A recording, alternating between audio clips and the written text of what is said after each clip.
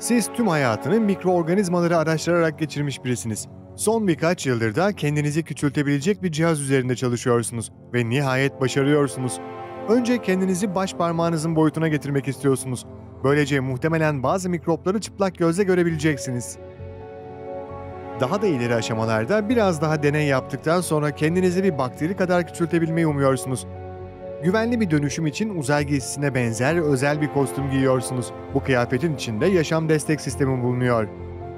Cihazın yarattığı ışını kendinize doğru yönlendiriyorsunuz. Işının kütlenizi ve hacminizi değiştirmesi gerekiyor. Eski halinize dönmek içinse bir hokey pakı büyüklüğündeki yuvarlak bir platformda durmanız gerekiyor.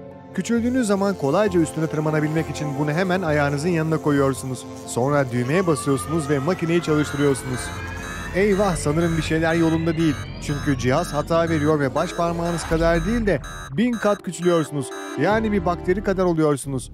Bunu küçüldüğünüz sırada yanınızdan geçen sineğin bu uçak kadar büyük olduğunu gördüğünüzde fark ediyorsunuz. O kadar küçülüyorsunuz ki üzerinde durduğunuz halının tüyleri kocaman ağaçlar gibi görünüyor.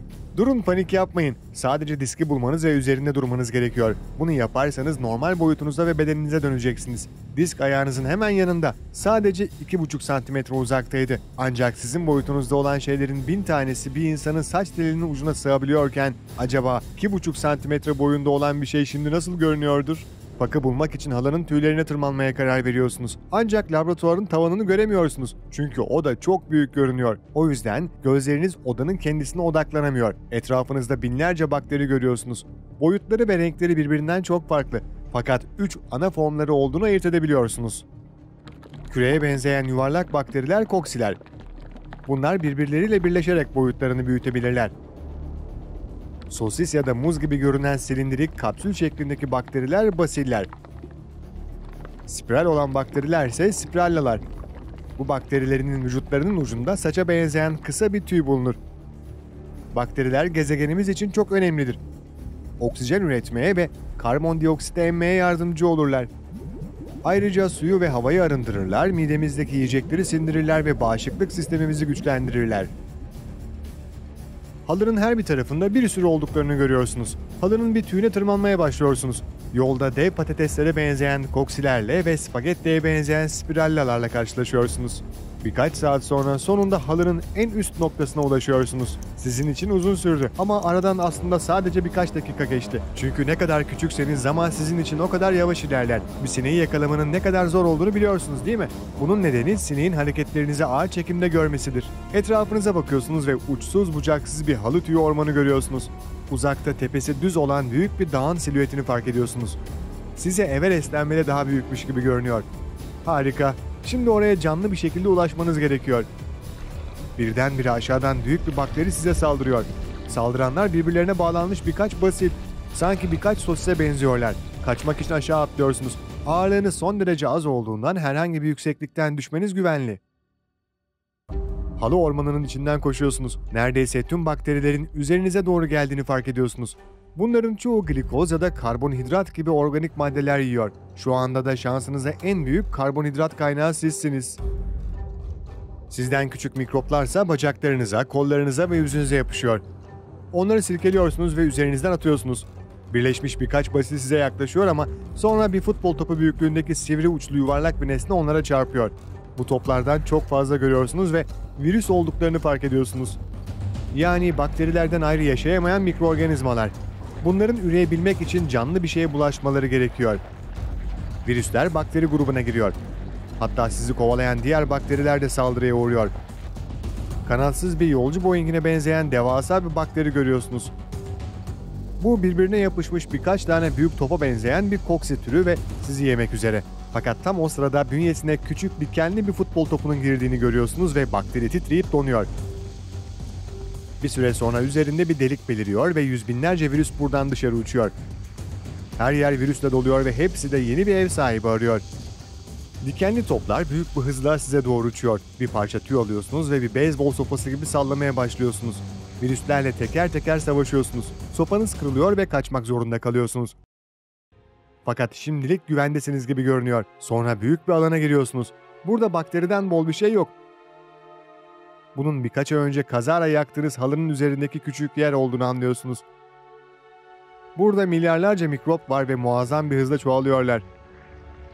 Bir bakterinin boyutu büyüyor ve ikiye ayrılıyor. Birkaç dakika sonra bu iki bakteri de büyüyüp bölünüyor. Şimdi dört tane oldular. Bakteri kolonisi işte bu şekilde katlanarak büyür.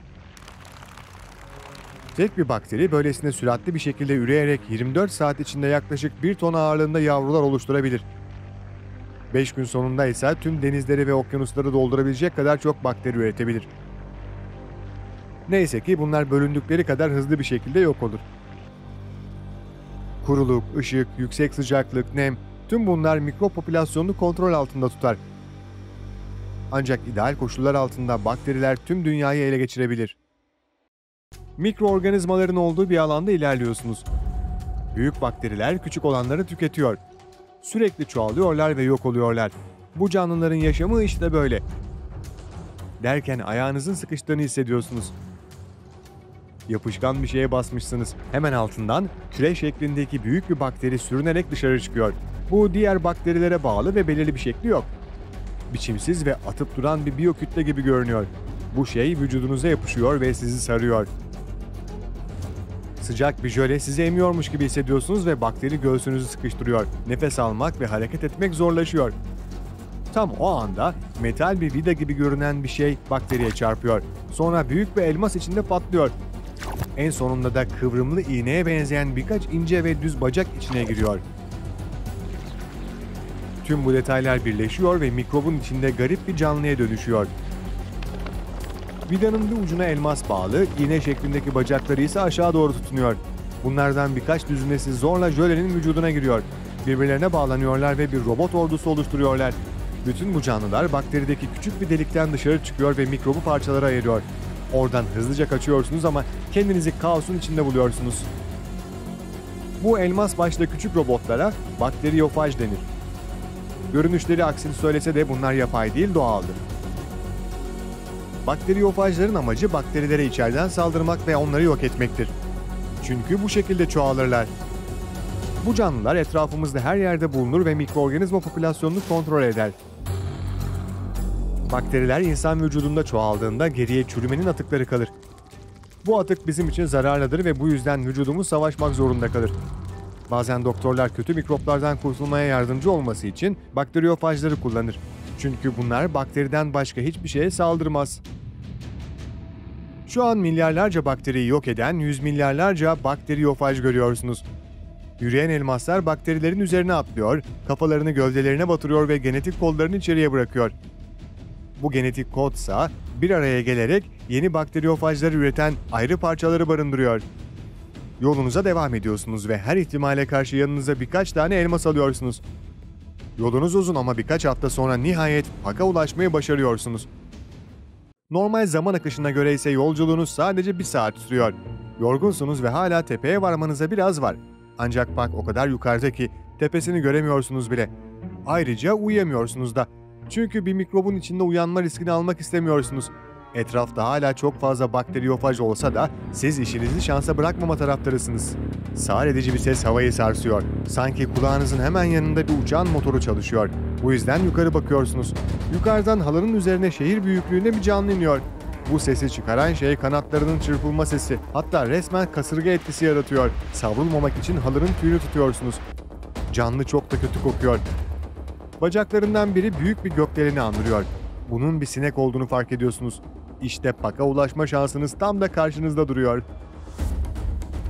Binlerce parçaya bölünmüş büyük turuncu gözleri iki gezegene benziyor. Sineğin bacağının ucuna tırmanıyorsunuz. Böcek havalanıyor ve sıkıca tutunuyorsunuz. Halı gittikçe uzaklaşıyor. Buradan Pak'ın tepesini görebiliyorsunuz. O kadar geniş ki yuvarlak kenarını seçemiyorsunuz bile. Sonra sineği bırakıp düşüyorsunuz. Havada milyonlarca bakteriyle karşılaşıyorsunuz ama sonunda Pak'ın yüzeyine iniyorsunuz.